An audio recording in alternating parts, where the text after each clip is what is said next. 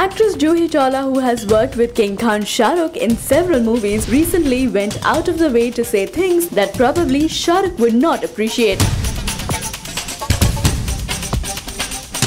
At an event, the actress bluntly told the audiences that she personally did not want to see Shah Rukh Khan's Dilwale because it did not garner good word of mouth. She said, I haven't heard many good things about the film, so I thought of skipping it. It is okay. Even if I don't watch, it wouldn't matter. Juhi Chawla and Shah Rukh had a wonderful chemistry on the big screen in the 90s era. In that case, Juhi saying something like this for Shah Rukh simply shocked one and all present at the event.